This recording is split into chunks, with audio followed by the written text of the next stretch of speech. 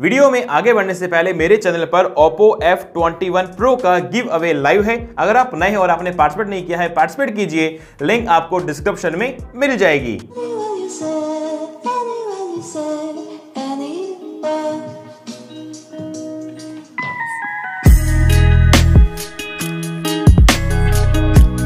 Oppo F21 Pro इसकी मैंने आपको अनबॉक्सिंग दी है गिव अवे दिया है और इसकी अनबॉक्सिंग मैंने आपको ऑल इंडिया सबसे पहले दी है।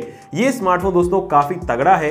इसके मैंने आपको, है ना कंपेयर वीडियो दे दिया Vivo V23 के साथ में, Reno 7 के साथ में भी। लेकिन वहाँ पर कुछ लोगों की कॉमेंट ऐसी है कि हमें ये स्मार्टफ़ोन Reno 6 के साथ में लेना चाहिए या फिर नहीं लेना चाहिए। हालाँकि Reno 6 अब एक साल पुराना होने को आ गया है, लेकिन फिर भी मार्केट के अंदर अपनी बहुत ही तगड़ी जगह बना के आज भी बैठा है।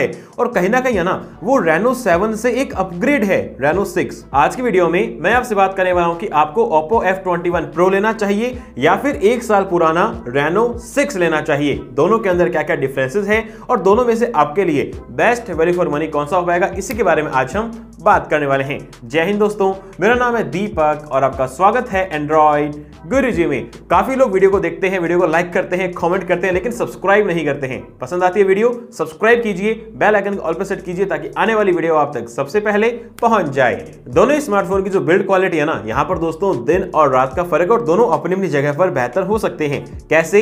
Oppo F21 Pro, यहाँ पर आपको 175 ग्राम का वज़न मिलता है। प्लास्टिक का फ्रेम है बॉक्सी डिज़ाइन है 3.5 पॉइंट mm जैक आपको यहाँ पे दिया गया है। सिंगल बॉटम फायरिंग स्पीकर है, ये सभी कुछ चीज़ें नॉर्मल है। लेकिन ये इंडस्ट्री का पहला स्मार्टफ़ोन है जहाँ पर आपको फाइबर ग्लास लेदर दिया गया है। ये दोस्तों अपने आप में काफ़ी तगड़ा है। इसकी जो फिनिशिंग है ना, वो न तो प्लास्टिक है, न ग्लास ये आपको एक तरह से ना लेदर जैसी फिनिशिंग को महसूस करता है। ये दोस्तों काफ़ी तगड़ा लगता है। मैंने स्मार्टफ़ोन को आज तीन दिन से यूज़ कर रहा हूँ और ये स्मार्टफ़ोन बहुत ही बेहतरीन इन हैंड क्वालिटी देता है। लेकिन अगर हम बात करते हैं Reno 6 की तो ये अपनी जगह बेहतर है। यहाँ पर आपको ना एक Reno की ग्लो डिज़ाइन मिलती है। छोटे छोटे छोटे छोटे डायमंड्स आपको नज़र आते हैं। 185 ग्राम का है। यहाँ पर आपको पीछे ग्लास मिलता है दोस्तों। और जो फ्रेम है ना, वो मेटल का है कंप्लीट बॉक्सी डिज़ाइन है। सिंगल बॉटम फायरिंग स्पीकर है, लेकिन यहाँ पर आपको 3.5 पॉइंट mm जैक नहीं मिलता है। यह है दोस्तों, दोनों के अंदर फ़र्क बिल्ड क्वालिटी के अंदर, और सीधा सा जवाब है दोस्तों की जो Reno 6 है ना, उसने ग्लास और मेटल के साथ में काफ़ी तगड़ा काम किया है, लेकिन जो F21 Pro है, वहाँ पर एक अपनी अलग जगह है दोस्तों लेदर वाली फिनिशिंग तो ये कंप्लीटली एक कस्टमर पर डिपेंड करेगा कि उसकी प्रायोरिटी क्या है। मेरी प्रायोरिटी की बात करूँ तो मुझे तो दोस्तों ग्लास और मेटल की डिज़ाइन ज़्यादा पसंद आती है। यानी कि रेनो 6 चलिए दोस्तों, बात करते हैं दोनों स्मार्टफ़ोन के डिस्प्ले के बारे में, और दोनों का साइज़ एग्जैक्ट सेम है 6.43 इंच की। दोनों display F H D plus AMOLED का पैनल है 90 एच की रिफ्रेश रेट है 180 एच की टच सैम्पलिंग रेट है ब्राइटनेस पीक एग्जैक्ट सेम है 800 निट्स की। अब यहाँ पे फ़र्क क्या है? देखिए दोस्तों, जो F21 Pro है ना, यहाँ पर स्क्रीन टू बॉडी रेशियो 85% का है, यानी कि बेजल्स और चीन थोड़ी सी बड़ी है। Reno 6 का है 91.7 यानी कि अप्रोक्सीमेट 92% बेजल्स चिन एकदम छोटी छोटी है। अगर आप बात करते हैं डिस्प्ले क्वालिटी की, वो मैं कहूँगा कि बेजल्स और चिन के अलावा एग्जैक्ट सेम है। चलिए अब हम बात करते हैं परफॉर्मेंस के बारे में, क्योंकि परफॉर्मेंस स्पेसिफिकेशंस प्रोसेसर ये एक ऐसा सवाल है, एक ऐसा क्वेश्चन मार्क है ना, कि फ़ोन कौन सा ले, सारी जानकारी यहीं पर आकर खत्म होती है। F21 Pro, Qualcomm Snapdragon 680 6 nm fabrication पे आधारित है। यहाँ पर आपको एक वेरिएंट मिलता है 8 जीबी एक सौ अट्ठाईस जीबी का LPDDR फॉर XRAM UFS 2.2 के साथ में आउट ऑफ़ द बॉक्स आपको ये Android 12 पर मिलता है। दो लाख अस्सी हज़ार से ऊपर आपको एंथू बेंचमार्क मिलता है ब्लॉटवेयर प्री इंस्टॉल्ड ऐप ये सभी चीज़ें आपको मिलती है, लेकिन आप इन्हें अनइंस्टॉल कर पाएँगे। गेमिंग की बात करते हैं BGMI COD ये आप ना एच हाई सेटिंग्स पर मीडियम हाई सेटिंग्स पर आप खेल पाएँगे, कोई तरह का फ्रेम ड्रॉप लैग जिटर ऐसा नज़र नहीं आता है। एक टाइम पीरियड तक दो तीन घंटा गेमिंग करने के बाद में फ़ोन थोड़ा हीटअप हो जाएगा और थोड़ा थोड़ा आपको फ्रेम ड्रॉप आना चालू हो जाएँगे। ये प्रोसेसर एक गेमिंग सेंट्रिक प्रोसेसर बिल्कुल भी नहीं है। आप कभी कभार गेमिंग करते हैं हाँ भाई साहब, थोड़ी बोरियत आ रही है, चलो थोड़ा सा गेम खेल लेते हैं। उस कंडीशन में काम आ सकता है पर्टिकुलर गेमिंग के लिए काम नहीं आएगा। इसके अलावा ये प्रोसेसर है ना, ये 4K का सपोर्ट नहीं करता है HDR का सपोर्ट नहीं करता है। YouTube वीडियो Netflix प्राइम आप कहीं पर भी 4K HDR ये सब चीज़ें नहीं देख पाएँगे तो डिस्प्ले का कहीं ना कहीं ना एक व्यूइंग एक्सपीरियंस आप कहाँ लेंगे, जब आप 4K नहीं देख पा रहे हैं, है ना? तो ये कुछ लिमिटेशन है स्नैपड्रैगन 680 की। डे टू डे लाइफ के अंदर, एक नॉर्मल यूज़ के अंदर ठीक ठाक है, लेकिन अगर आप गेमिंग सेंट्रिक देखते हैं, या फिर आपको लगता है कि आप एच डी वगैरह देखना पसंद करते हैं, उस केस में स्नैपड्रैगन 680 काम नहीं आएगा। अगर आपसे बात करता हूँ रेनो 6 की मीडिया टेक डायमेंसिटी 900 ये एक 5G प्रोसेसर है, यानी कि ये फ़ोन 5G है। एक बहुत ही बड़ा फ़र्क आप आ गया। F21 Pro, एक 4G फ़ोन है रेनो 6 5G फ़ोन है। यहाँ पर भी एक ही वेरिएंट है, आठ जीबी एक सौ अट्ठाईस जीबी का। फॉरेक्स रैम है यूएफएस 2.1 है एंथू बेंचमार्क चार लाख बीस हज़ार का।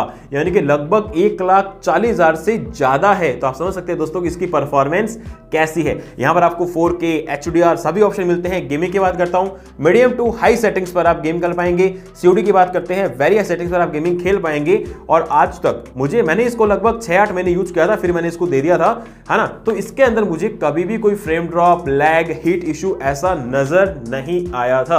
ये स्मार्टफ़ोन परफॉर्मेंस सेंट्रिक फ़ोन हो सकता है।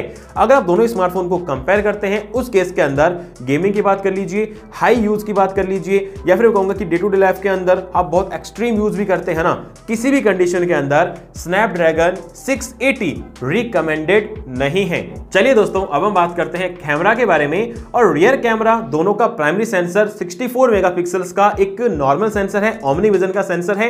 इसके अलावा जो F21 Pro है ना, यहाँ पर आपको दो का माइक्रो सेंसर और दो का डेव सेंसर मिलता है। यहाँ पर माइक्रो सेंसर आपको देखना होगा कि आपके काम आता है रियल लाइफ में या फिर नहीं आता है, क्योंकि जिसके ये काम आएगा ना, कोई बायोलॉजी का स्टूडेंट है, कोई मेडिकल स्टूडेंट है, उसके तो काम आ जाएगा। चलो आगे भी काम आएगा, बाकी हमारे लिए तो एज अ फन हो सकता है। एक दो दिन काम ले लिया उसके बाद गया। इसके अलावा 32 मेगापिक्सल्स का सेल्फी कैमरा सोनी IMX 709 के साथ में। और ये दोस्तों, अपने आप के अंदर एक तकड़ा फ्लैगशिप सेंसर है। लेकिन फ्रंट और रियर दोनों में आप 4K वीडियो रिकॉर्डिंग नहीं कर पाते हैं। जो रियर कैमरा है ना, वो काफ़ी ठीक ठाक है। मैं कहूँगी एवरेज क्वालिटी दे देता है। लेकिन जो सेल्फी कैमरा है, उसकी दोस्तों डायनेमिक रेंज है ना फेस वगैरह, काफ़ी तगड़े आते हैं। स्किन टोन वगैरह काफ़ी तगड़ी आती है। इसकी जो कैमरा शॉट्स है ना, मैं आपको आगे बताता हूँ। इसके अलावा जो रेनो सिक्स है ना, वहाँ पर 64 का आ गया प्राइमरी सेंसर, आठ का अल्ट्रावाइट, दो 2 का मैक्रो। मैक्रो को हटाइए। अल्ट्रावाइट सेंसर दोस्तों, मेरे हिसाब से रियल लाइफ में काम आता है।